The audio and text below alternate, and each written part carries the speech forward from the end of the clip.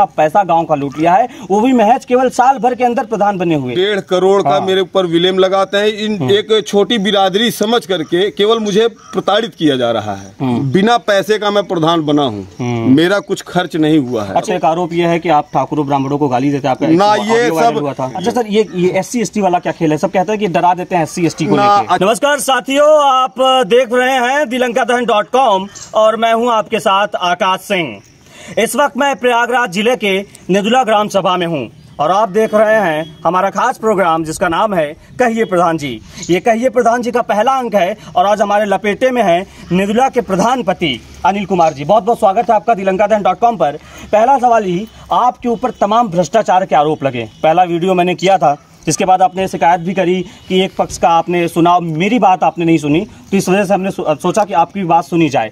आपके ऊपर इतने बड़े बड़े दावे किए जा रहे हैं कि आपने इतना भ्रष्टाचार मचाया इतना पैसा गाँव का लूट लिया है वो भी महज केवल साल भर के अंदर प्रधान बने हुए। क्या जवाब देंगे आप?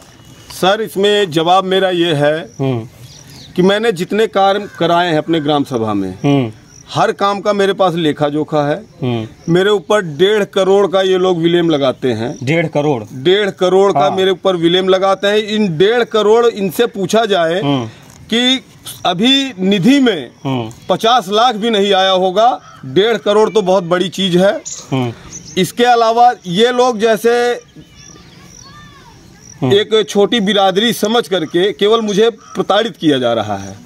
मेरे सारे काम का लेखा जोखा मेरे पास आपने कहा छोटी बिरादरी समझ के जातिवाद का क्या खेल? हाँ जातिवाद का ये खेल है सर कि यहाँ 20 साल पहले पंडित जी प्रधान थे। हम्म, उनके कार्य की अपेक्षा में मेरे इस एक साल के कार्य की अपेक्षा में आप जो है जाँच कर सकते हैं एक एक घर घर में जहाँ जहाँ मैंने काम कराए हैं जहाँ मैंने चक्रोड बनवाई है जहाँ मैंने कितना काम किया आपने एक साल के अंदर? मैंने एक साल के अंदर सर तिरालीस सुख्ता गड्ढा तिरालीस? तीस रिबोर प्लस पंचायत भवन मरम्मत। हम्म, सामुदायिक शौचालय आपके ठीक सामने है। हम्म, उसके बाद ह्यूम पाइप गिरवाया सीमेंट बेंच गिरवाई चार कच्ची सड़क फिकवाई मैंने चार मैंने खड़ंजे बनवाए दो इंटरलॉकिंग करवाई है एक इंटरलॉकिंग का भी मटेरियल गिरा हुआ बरसात के कारण नहीं हो पाया है। सरकारी आवास कितने दिए आपने? सरकारी आवास कम से कम अड़तीस चले गए अड़तीस गए अड़तीस गए हैं सर। तो पैसा लेके ये सब आवाज़ गिरा है या फिर ना ना ना मैंने क्या इन अड़तीस लोगों में से क्या ऐसे लोग भी हैं जिनके पास ऑलरेडी घर है उन्हें आप घर दे रहे हैं? नहीं नहीं जो पात्र थे उन्हीं को दिया गया है। जो पात्र है। हाँ, सर। जातिवाद इसमें जातिवाद में ना कोई जातिवाद नहीं अच्छा सबसे बड़ा आरोप ये रहा है कि एक खड़ंजा आपने बनवाया हम्म। और फिर उसका चार बार उसी को दिखा के उसकी मरम्मत दिखा के चार बार उसी खड़ंजे के ऊपर लाखों रुपए निकाल लिए गए। ये गमन का एक सबसे बड़ा आरोप आपके ऊपर लगा नहीं सर मेरे पास उसकी वीडियो है हाँ। और किसी भी क्लेम किसी को भी क्लेम लगाने से पहले ये एक प्रूफ होना चाहिए हम्म। स्टेटमेंट में एक बार अगर एक ही डेट पे या एक ही काम में चार बार पैसा निकला होगा तो इसमें भी होगा अच्छा। बताइए डेढ़ करोड़ का आरोप है। आप कह रहे हैं कि आपके आ, आपके पास केवल साठ लाख रुपए काम करने के लिए आए हैं। हाँ सर मैं आपको तो ये कैसे डेढ़ करोड़ का दावा कैसे ठोक रहे हैं ये डेढ़ करोड़ का दावा ये बेबुनियादी दावा है इनका। हम्म। आप देखिए लास्ट के पृष्ठ पे लिखा हुआ है टोटल क्रेडिट बाईस लाख निन्यानवे हज़ार चार सौ दिखाया जाए। यह है बाईस लाख निन्यानवे हज़ार चार सौ तैंतीस रुपए। और टोटल डेबिट। उन्नीस लाख छियानवे हज़ार हम्म। तो ये ये आपके काम का एक साल में लेखा जो हाँ ये ये ये ये हमारा राज्य वित्त का है। हम्म। और मेरे केंद्र वित्त का भी देख लीजिए सर। मेरे केंद्र वित्त में जो लेखा जोखा है लास्ट के पृष्ठ पे इस पे भी आ जाइए सर। ये देखिए सर इसका भी जो क्रेडिट है हम्म। टोटल क्रेडिट इक्कीस लाख अड़सठ हज़ार सात सौ चलिए, ठीक है, पंचानवे ठीक है। और सत्रह लाख आगे बढ़ते हैं। आप कह रहे हैं कि साठ लाख रुपया डेढ़ करोड़ का आपके ऊपर आरोप लगाया जा रहा है। तो ये बेबुनियाद वो कहते हैं हमारे पास पेपर से वो हाई कोर्ट जा रहे हैं आपको आ, तो सर वो जाए मुझे उसकी चिंता नहीं। न्यायालय मान्य न्यायालय सबके लिए है। हम्म। किसी को सजा देने से पहले उसकी भी पूछी जाती हम्म। है बातचीतें पूछी जाती है कि भैया आप गलत हैं या नहीं है। मैं, मैं मुझे एक्सेप्ट है अगर मैं गलत हूँ हम्म।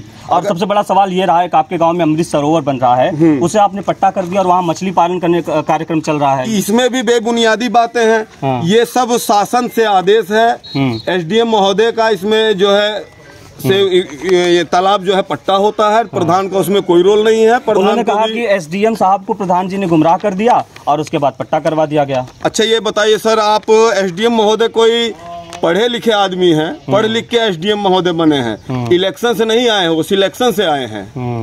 तो मैं उनको गुमराह कर दूँगा कह रहे हैं कि हिंदू धर्म की आस्था को ठेस पहुँचाया जा रहा है बगल में भोलेनाथ का मंदिर है वहाँ पे मछली पालन करवाया जा रहा है। ये गलत है ये जो हमारे पाठक गुरु जी हैं हम्म, ये देखिए हमसे रंगदारी मांगते हैं। रंगदारी आप समझे तो जैसे धमकी चमकी दे के ये क्रिमिनल टाइप के लोग हैं ये लोग। हम्म, ये हमसे पैसे की मांग करते हैं। हम्म, कि मैं कुछ दक्षिणा देता रहूँ तो ये खुश रहेंगे। और नहीं तो विरोध है। हम्म। मेरे ग्राम सभा में मैंने जितने काम कराए आप चल के जन जन से पूछ सकते हैं। आप हाँ। अच्छा जितने काम अभी आपने मुझे गिनवाए कि आपने अड़तीस कम से कम सरकारी आवास दिलवाए और ये सारे तमाम काम करवाए तो इसमें एक रुपए का भी भ्रष्टाचार नहीं? ना कोई भ्रष्टाचार नहीं। मैंने जिसके पास कॉलोनी दी है किसी भी एक पात्र आदमी से आप पूछ सकते हैं कि मैंने खुलेआम कहा किसी को चवन्नी मत देना। अड़तीस कॉलोनी आपने दी है। एक रुपए उसमें आपने लिया नहीं ना ना एक एकदम एकदम पूरा एकदम कॉन्फिडेंस है। कोई अगर झूठ को भी कह देगा कि हाँ प्रधान ने लिया है हम्म। तो मैं मंजूर है। मुझे जो सजा कहेंगे आप मंजूर क्षेत्रफल के दृष्टिकोण से ये जो आपका गाँव है पूरे प्रतापपुर में सबसे बड़ा गाँव हाँ, सबसे बड़ा गाँव है। अगर आप किलोमीटर में लें और जिस तरीके से कामकाज तो इतने बड़े गाँव को संभालना कितना मुश्किल काम है? बहुत मुश्किल काम है सर लेकिन ज़िम्मेदारी मिली है तो निभाऊँगा जहाँ तक हम्म। दम है मेरे अंदर मैं अच्छा आपने एक रिकॉर्ड तोड़ा बीस साल से यहाँ पंडित जी प्रधान थे फिर बीस साल बाद आप प्रधान होते हैं तो लोग कैसे देख रहे हैं इसको? लोगों ने मुझे हम्म। इसी कारण बिना पैसे का मैं प्रधान बना हूँ। हम्म। मेरा कुछ खर्च नहीं हुआ है। अच्छा ये बताइए सारी जातियों ने आपको वोट दिया था? सब सब सब सब। तो एक आरोप ये है कि आप ठाकुरों ब्राह्मणों को गाली देते आपका ना ये सब ये देखिए ये पर्सनली अपने अपनी लड़ाई जो है पूरे गाँव में बिखेर रहे हैं। अच्छा सर ये ये एस सी वाला क्या खेल है? सब कहते हैं कि डरा देते हैं एस सी को अच्छा हमें बताए कभी हमारे ग्राम में ब्राह्मण हैं हम्म, कई ब्राह्मण है हमारे गाँव के हम्म। और इस समय मौके पे कोई दिख नहीं रहा है। हम्म, हम्म, अगर कोई एक ब्राह्मण होगा तो आप मैं किसी से भी आप पूछ सकते हैं हम लोग यहाँ बड़े शांति प्रिय आदमी हम लोग। हम्म, हम्म। हमारा एक एफआईआर या एक कागज़ कभी थाने में नहीं ना हमारे नाम से कोई कंप्लेंट गई है ना हमारे खिलाफ किसी ने कंप्लेंट दिया है। हम्म। इतने सुलझे हुए आदमी हैं हम लोग। हाँ। सबसे बड़ा सवाल ये रहा जितने काम हुए मानक पे नहीं हुए सब कह रहे काम तो आपने किया है उस काम के अंदर भ्रष्टाचार है। जी। सर भ्रष्टाचार कुछ भी नहीं है। हम्म, ये लोग अपनी एक जैसे एक फ़ाइल है मेरे पास एक कागज़ है। तीस साल पहले बना हुआ खड़ंजा। हम्म, उस खड़ंजे की जिस खड़ंजे की कह रहे हैं कि चार बार पैसा निकाला गया है हम्म, उस खड़ंजे की मरम्मत में करा रहा था। हम्म, इस एप्लीकेशन पे जरा ध्यान दीजिए। इस पे लिखा हुआ राकेश पांडे। हम्म, राकेश पांडे कमलेश पांडे पुत्र ब्रह्मदेव पांडे। हम्म। शेरे पुश्ती से गुंडई के बल पे लाठी डंडा लेकर आए मजदूरों को गाली देकर भगा दिया गया।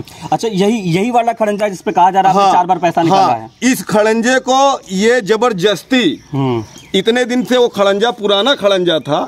जब मैं उसकी मरम्मत कराने लगा तो इन्होंने कहा कि ये मेरी भूमधरी है। मैं इसको नहीं बनने दूँगा। इन्होंने ट्रैक्टर से जुतवाया। उस समय से ये लड़ाई चल रही उसी समय से ये मेरे पीछे पड़े हुए हैं। बड़ा सवाल उठता है शिक्षा को लेके। आपके गाँव में तीन प्राइमरी स्कूल हैं। हाँ, शायद सर। प्रतापपुर में इकलौता ऐसा गाँव है जहाँ पे तीन तीन प्राइमरी स्कूल्स हैं सरकारी विद्यालय हैं। अब वहाँ कहा जाता है कि आपके एक विद्यालय में टीचर्स टाइम से नहीं आते हैं। दूसरे किसी विद्यालय में मिड डे मील की समस्या बताई जा रही है। फिर ऐसी तमाम तरह की जो भ्रांतियाँ व्याप्त हैं इसे आप कैसे देखते हैं और आप विद्यालय पहुँचते भी हैं? क्या जाते हैं आप? मैं जाता हूँ बच्चों से अपने ये तो नहीं है मेरे यहाँ जैसे मेरा लड़का हम्म, फल के समय एक दिन पहले ही फल ला के रख लिया जाता है जैसे मंडे को फल देना है। दूध को लेके एक जो दूध भी हमारे यहाँ बगल में डेयरी है डेयरी से ही दूध जाता है। हम्म, हर अच्छा डेयरी से दूध हाँ। अमूल पाउडर दूध नहीं नहीं नहीं नहीं डेयरी से दूध जाता है हर बुधवार को हम लोग दूध बेचते हैं। हम्म, और हर सोमवार को जो है फल दिया जाता है फल भी बदल बदल के दिया जाता है सीजनी के हिसाब से। हम्म, इस समय केले की बहार है केला ही केला चल रहा है। अच्छा। उस समय आम की बहार थी आम आम चल रहा था। तो इस तरीके से फल हर हर सोमवार को फल दिया तो जाता है। आप आप जनता से ये वादा करते हैं कि आप इस पे और निगरानी रखेंगे एकदम एकदम एकदम सर मेरा पूरे व्यवस्था पे- मेरी पूरी कोशिश है क्योंकि मेरे बच्चे भी उसमें पढ़ते हैं। हम्म तो ये बताइए आगे बढ़ते हैं। जाँच से कोई डर वर तो नहीं आपको? जाँच से मुझे जाँच आती भी आपके मुझे जाँच से कोई डर नहीं है क्योंकि मेरे पास पूरा लेखा जोखा है मैंने जितना पैसा निकाला है मेरे कार्यकाल का एक एक पाई पाई का हिसाब मैं दे सकता हूँ। हम्म। हाँ। आपको कोई डर नहीं मुझे मतलब जाँच भाई अगर गलत मैं रहूँगा तो मुझे सजा भी मिलनी चाहिए। निश्चित तौर पे। अब आखिरी सवाल ये कि पाँच साल बाद जब हम फिर यहाँ दोबारा रिपोर्टिंग करने आएँगे तो पाँच साल में क्या कुछ बदला हुआ नज़ारा देखने को मिलेगा?